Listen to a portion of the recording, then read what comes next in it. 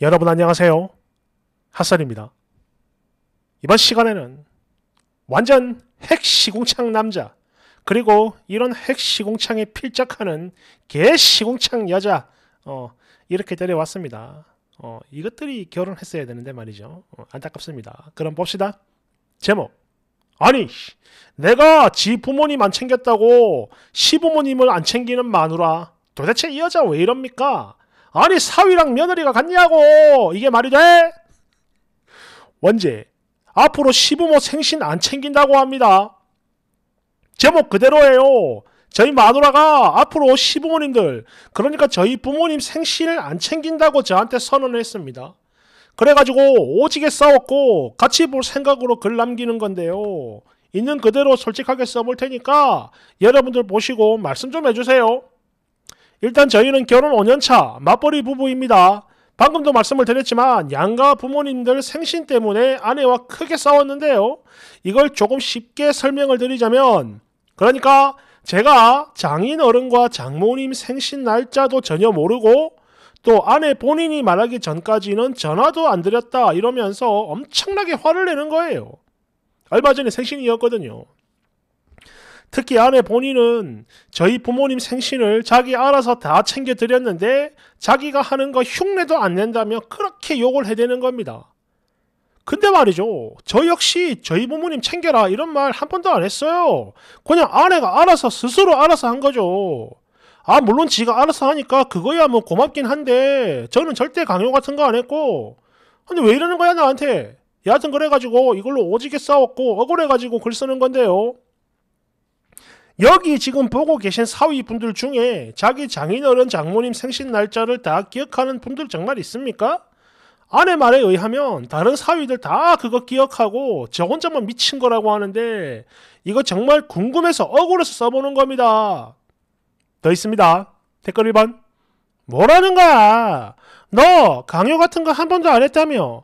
그래서 아내도 지, 금부터 너가 보면 안 챙기겠다 이건데 미친놈이 도대체 뭐가 불만이라고 글 쓰고 있는 거예요? 대댓글 여태 알아서 잘 챙기다가 이제 안 챙긴다고 하니까 승질이 나가지고 소리 지르고 일할지 떨어대는 중입니다. 깔깔깔. 2번 이보세요 휴먼 미쳤습니까? 이게 뭔 개소리입니까? 장인어른 장모님 생신 기억하는 사위들 오지게 많습니다. 아 물론 기억 못하는 사위도 많이 있겠죠. 근데 이건 또 반대로 자기 시부모 생신 모르고 안 챙기는 며느리도 많아요. 그런데 말이죠. 지 혼자 붕어 대가리라 그런 건지 아니면 싸가지가 없고 버르장머리가 없어서 그런 건지 장인어른 장모님 생신 안 챙기고 매번 그냥 그렇게 보내면서 자기 아내한테만 자기 부모님한테 잘하라고 그렇게 닦아라는 일단 그지 같은 머저리는 많지 않다. 이게 팩트죠. 네데스니 저는 평소 우리 엄마 아빠한테 잘해라 효도해라 이런 강요 절대 안 했습니다. 뭔 소리입니까? 정정합니다. 자기 부모 생신은 챙기라고 하면서 그거 안 챙기겠다고 하니까 불평하는 거지 같은 새끼로 하죠. 세간에서는 말입니다. 이걸 보고 대리 효도충이라고 부릅니다. 그건 알고 있죠? 3번. 아니 그래 뭐 장인어른 장모님 생신 모를 수는 있어. 근데 그걸 알게 했으면 전화라도 드려야 되는 거 아닌가? 그리고 사위는 장인 장모 생신을 몰라도 되는데 며느리는 자기 시부모 생일을 꼭 알아야 하는 이유가 뭐냐? 너가 부모가 네 마누라를 낳고 키웠냐? 이 자식 이거 개념을 지 엄마 뱃속에 두고 태어난 건가? 아 그렇구만. 4번 네가 하는 말에 모순이 있네. 강요를 한 번도 안 했다고 했냐? 그리고 아내 스스로 알아서 챙겼다고 했어? 그럼 앞으로도 하든 안 하든 상관없는 거 아니야? 어? 아니 도대체 뭐가 억울해가지고 일단 그지 같은 글을 싸질렀어?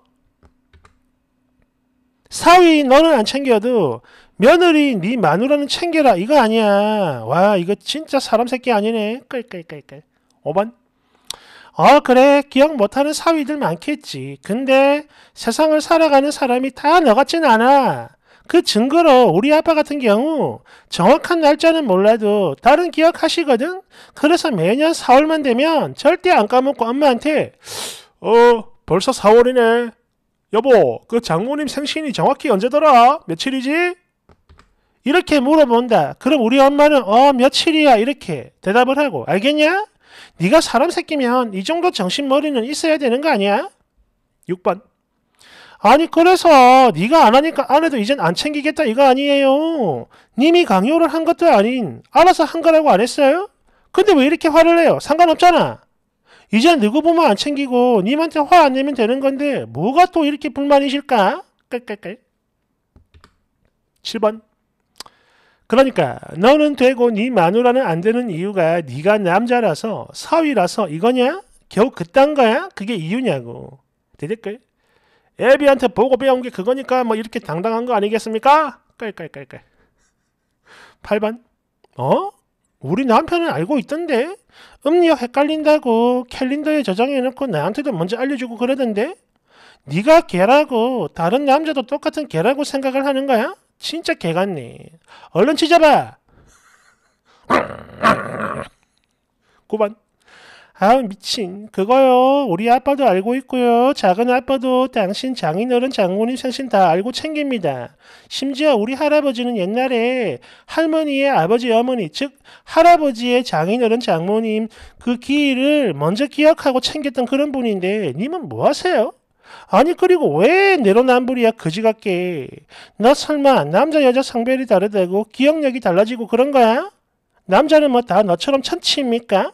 고장 날짜 두 개도 제대로 기억을 못해? 어우 쪽팔려 왜 그러고 살아요? 추가 제가 이렇게까지 욕을 먹을 줄은 정말 몰랐습니다. 반성합니다. 진심이에요.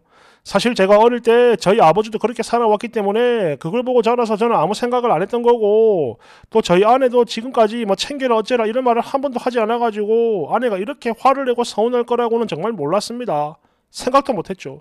참고로 수입은 아내가 조금 더 좋고 저는 결혼할 때 대출 깨가지고 그렇게 뭐 어쩌고 저쩌고 하다가 둘 다 저희 부모님 집에 들어가가지고 한 3년 살았습니다. 뭐 돈이 없어가지고 그런 건 아니고요. 여하튼 뭐 그러다가 저희 장인어른 장모님이 수도권에 브랜드 신축 아파트 34평 저희 마누라 이름으로 사주셨어요. 이거는 그냥 물어보는 분들이 많아서 남긴 겁니다. 뒤에 하나 더 있습니다. 댓글 1번. 야, 이 새끼야. 반성이라고 하는 건 그냥 죄송합니다. 여기까지만 하는 거야. 아니, 도대체 아버지 핑계를 왜 대는 거야? 그럼 만약 니네 아버지가 살인을 하던 사람이라면 그걸 보고 자란 너도 살인을 할 거다. 이거야, 지금? 그거 다 핑계야. 잘못된 거 알고 있잖아, 너도. 뭔 그지 같은 핑계를 대고 있어. 2번. 평생 반성하고 너거 마누라. 어? 여왕처럼 떠받들고 모시고 살아라. 에이그. 3번. 아파트까지 해주셨는데 이게 완전히 미쳤구나. 양심이 있으면 앞으로라도 똑바로 하세요. 똑바로. 그 반성이 진심이길 바랍니다. 아니 적어도 네 아내 절반은 해야 되는 거 아니야? 입장 바꿔서 니네 부모님이 아파트 해주셨으면 갑질 쩔었을 거 아니냐고 너. 4번. 아니 그렇게 받아 처먹었으면 당연히 양심도 함께 처먹어야 하지 않겠어요? 왜 양심이 없는 거야? 아니지 같이 먹어버려 가지고 없는 건가? 그런 건가? 아이고 주장 아니야 이거? 아니 이런 게 정말로 있냐고 5번 허 납작 엎드려 살아도 모자랄 팔에 지랄 났구만 야 이 그지 같은 인간아 얼른 이혼이나 당해라 대댓 맞아요 인간은 안 변합니다 말은 저렇게 해도 금방이지 뭐 그러니 이혼도 마찬가지 그 역시 금방이지 뭐. 두 번째 사연. 원제. 이거 시댁 갑질인가요? 저는 작년 초에 결혼한 새 신부예요. 신랑하고는 나이 차가 좀 많이 나요. 제가 당연히 연하입니다. 어리죠? 일단 저희 시댁은 모아놓은 자산이 좀 있고 지금도 두 분이 같이 사업을 해요. 그리고 저희 친정은 아빠 혼자만 일을 하고 엄마는 원래 일을 했는데 몸이 안 좋아서 집에서 쉬고 있죠. 모아둔 돈 딱히 없고 그래서 아빠가 벌어오는 거 이거 생활비랑 병원비로 쓰고 나면 남는 거 하나도 없어요. 상황이 이러다 보니까 저희들 결혼할 때 특히 제가 혼전 임신이라서 일단 급하게 시댁에서 전셋집을 구해주셨거든요. 자가는 내년 가을에 사주기로 하셨어요.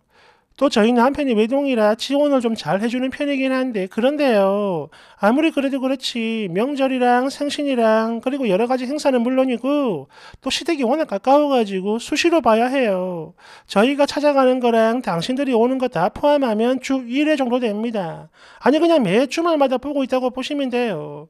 근데 저희 친정은 저 결혼하고 딱 두 번 갔다 왔어요 남편도 먼저 가자는 소리를 안 합니다. 그리 멀진 않거든요. 그냥 한 시간이면 가는데. 하지만 제가 결혼할 때 도움받은 거 하나도 없고 저 역시 모아둔 돈이 없어서 거의 몸만 왔으니까. 그래서 지금까지 아무 아무 말 못하고 그냥 조용히 따르고만 있었는데요. 이게 맞는 거냐고요. 정작 제가 받은 건 진짜 아무것도 없는데도 이래야 돼요? 집도 차도 아직 말만 하신 거라서 일단 받을 때까지는 쥐죽은 또 조용히 시댁이 원하는 대로 다 맞춰야 하냐 이거예요. 댓글 1번. 아? 뭐? 일단 받을 때까진? 이거 뭐야? 말이 좀 이상한데? 아니 그럼 그거 다 받고 나면 본 모습으로 각성하겠다 이건가? 그지 같은 거? 2번. 야, 이 염치라곤 개미 똥만큼도 없는 이 망할.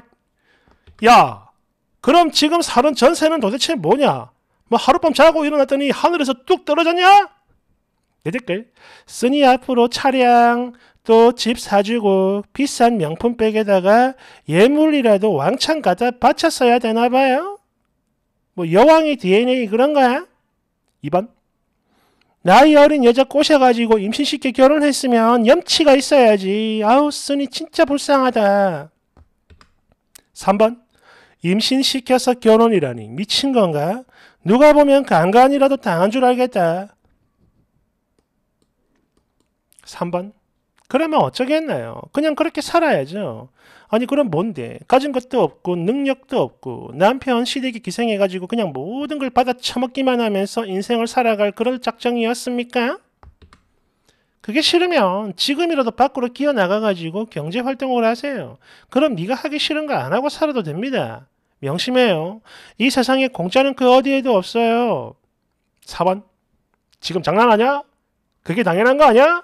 니네 시댁에서 하라는 대로 다 맞춰줘야 돼. 원래 그런 집안이니까.